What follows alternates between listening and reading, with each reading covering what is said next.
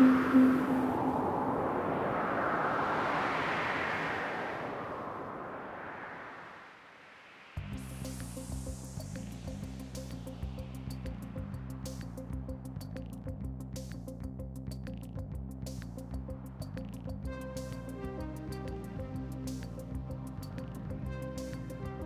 Vyne is to be found just north of Basingstoke.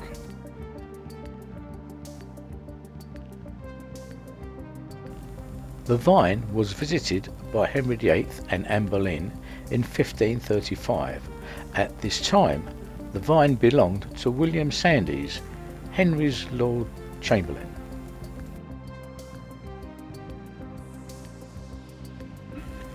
When water began to leak into the house, the National Trust set to work to save the collection from irreversible water damage.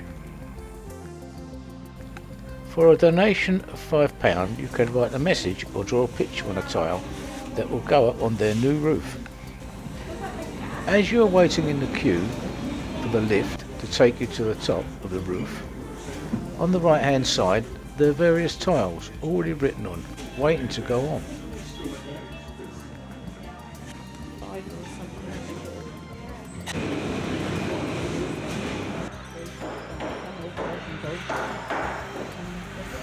Stepping out of the lift, you can appreciate the complexity of the job at hand. Yeah, but you, you.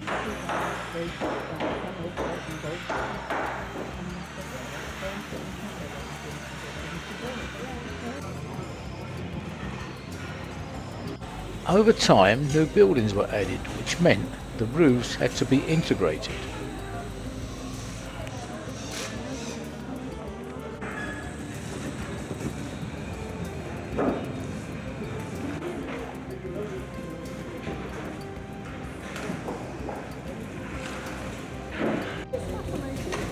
So be fitted on.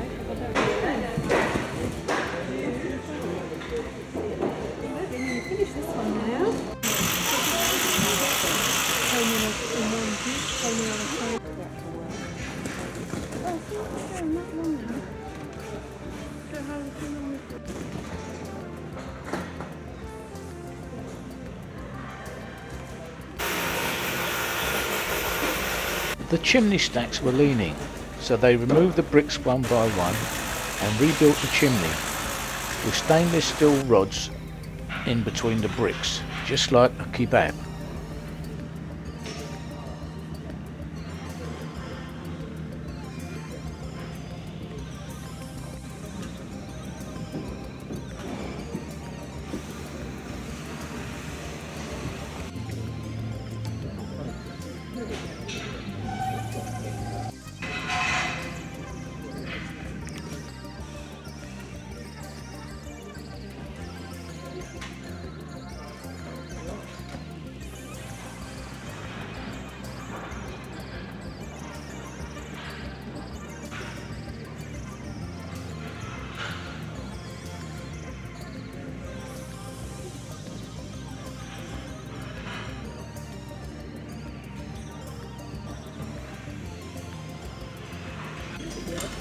The old tiles are meticulously removed and inspected.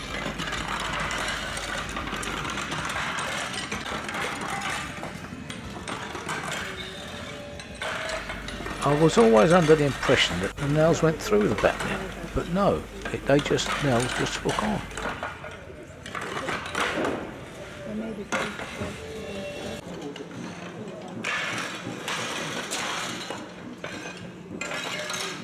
One of the big problems with roofs is ventilation and fire. This has to be taken into account when building the roof.